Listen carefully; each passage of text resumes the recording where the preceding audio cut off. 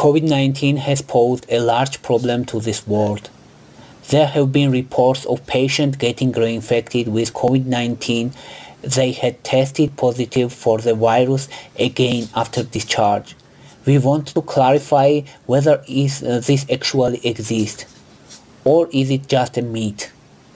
Some doctors claimed several patients healed from the infection become reinfected with the coronavirus again.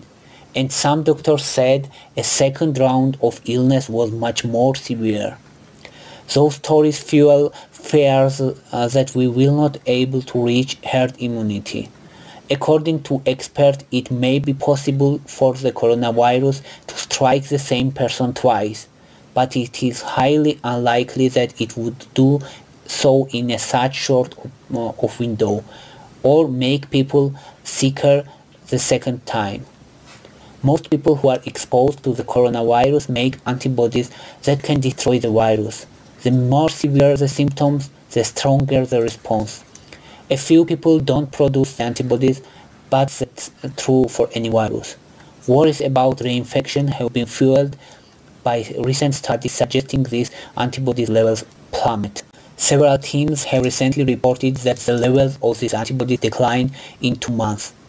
But a drop in antibodies is perfectly normal after an acute infection subsides but other work suggests that the antibody level decli decline and then stabilize.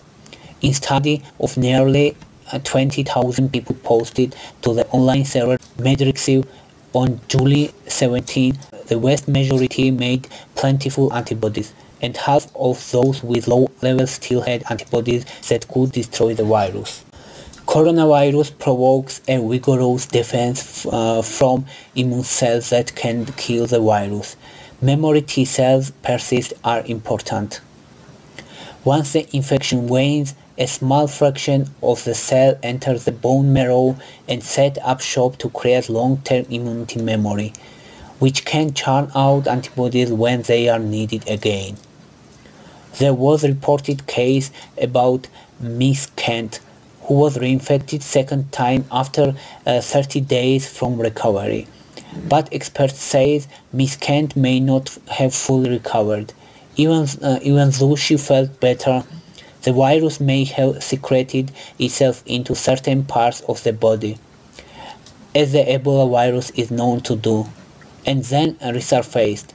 She did not get tested between the two positives, but even she had faulty tests and low viral levels can produce a false negative.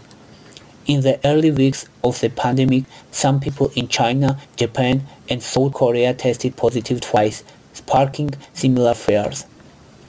South Korea's Centers for Disease Control and Prevention investigated 285 of those cases and found that several of second positives came two months after the first, and in one case 82 days later.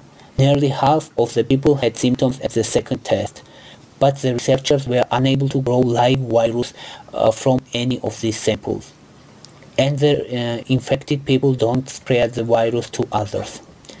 It was pretty solid epidemiological and virological evidence that reinfection was was not happening, at least in those people.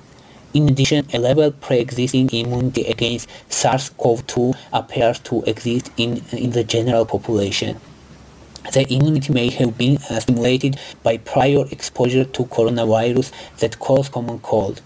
T-cells would blunt the illness and may explain why some people with COVID-19 have mild to no symptoms. Conclusion There is no pure evidence reinfection cases, but reinfection is possible. Good thing, it is very rare.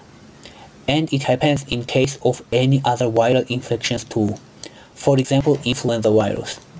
According to CDC, the immune response, including duration of immunity to uh, COVID-19 infection is not yet understood. Patients infected with other uh, beta coronaviruses, MERS-CoV, HCoV, uh, the genus to which uh, COVID-19 belongs, are unlikely to be reinfected shortly, three months or more, after they recover. However, more information is needed to know whether similar immune protection will be observed for patients with COVID-19.